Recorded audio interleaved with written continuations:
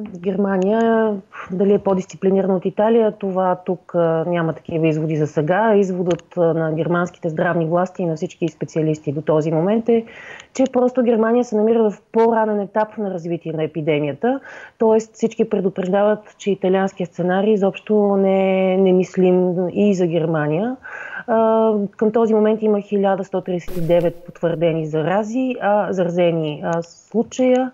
А от вчера има и първите два смъртни случая в Северен Рейн-Вестфалия. има вече тук и карантина на местно ниво. Едно, един град в Бранденбург, Нойштад Досен, 4000 души са поставени под карантина заради контакти с хора, които са се оказали след това заразени. Ам, мога да дам. Начинът по който се разпространява болестта е много подобен на начинът по който се разпространи и в Италия, и в Китай. Просто всичко е просто различно разположено във времето. Това е което казват специалистите. Това, кое, което е целта всъщност на всички мерки, които взима Германия, е да се, забави, да се забави разпространението на болестта. За това се отмениха страшно много също и економически важни мероприятия. Повечето панаири, които се провеждат в тази, от тази част на, на годината, а, бяха отменени. В момента се обсъжда, но най-вероятно така ще стане. А, Бундеслигата ще играе пред празни стадиони. От неделя е препоръката на Здравното министерство. Всички събития с над 1000 души да не се провеждат, но днес министър Йенс Шпан подчерта, че всъщност няма гаранции за събития с под 1000 души, така че всеки трябва да а, организатор да прецени сам, тъй като а, здравните власти нямат а, юрисдикция над тези мероприятия. Те могат да бъдат отменени само от организаторите или от локалната полиция при някои обстоятелства.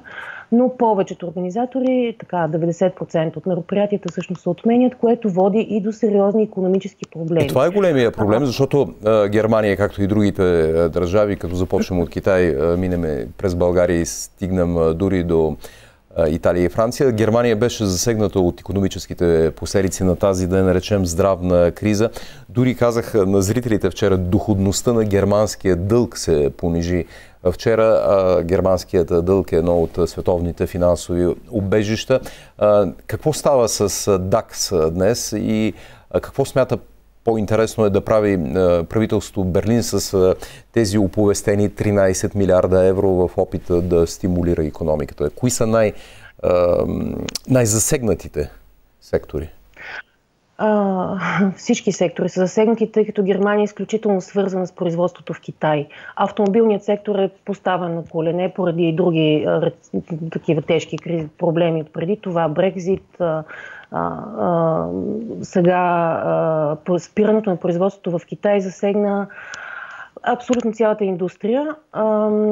Също така един много, много важна част, която засяга и цяла Европа и България е, че всъщност фармацевтиката, световната, се държи до, до голяма степен зависи от така основни базисни изработки в Китай. Това е наложи и първият извод, който бе направен в Германия, че фармацевтичната индустрия не бива да е толкова зависима от външни страни заради ето подобни неща, които могат да се случат и ще се опитат да върнат някои от производствата обратно в Европа, ако не е в Германия, което пък ще доведе до повишаване на цените. Автомобилната индустрия, разбира се, абсолютно БМВ се наложи да дори също така да постави под карантина доста от работниците си. Там бяха спрени, те имат заводи, повечето автомобилни заводи имат, концерни имат заводи в Китай.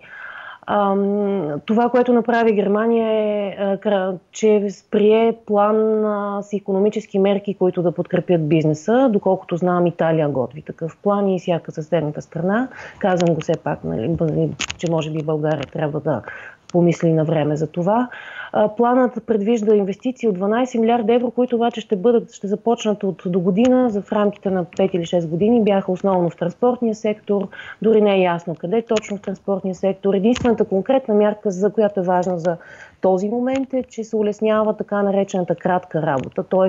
работниците и служителите няма да губят вероятно толкова лесно работните си места, могат да бъдат оставани на стендбай и част от заплатата и социалните осигуровки ще поеме държавата. но въпреки това се очаква и вълна от безработица. Може би не в индустрията. Тук Съюза на индустрията обяви, че вероятно ще издържат да запазят работниците, които в момента са назначени, но няма да има нови назначения. Но браншове като гастрономия и туризъм са абсолютно, там ще има и големи съкръщения. Само ще дам един пример до каква степен тази криза засяга и всеки отделен човек. Да, започнах с отмяната на панаири, което е а, проблем за всеки град, за бизнеса във всеки град. В Берлин бе отменена туристическата борса. Вчера слушах а, обясненията на една малка, малка фирма с няколко души, само назначени дребен бизнес, които са отговаряли, които, тяхният бизнес са така цветните аранжировки, цветята по щандовете на този панаир. Те са били подготвени 200 000 евро разход, който няма да бъде покрит, никой няма да ги плати тези цветя. Жената, собственичка на фирмата, има право на компенсация, ако юридическата процедура ще трае повече от година, което тя не може да си позволи. Тоест, ето само една дребна брънка, как вече дребният и средният бизнес е поставен наистина на колене.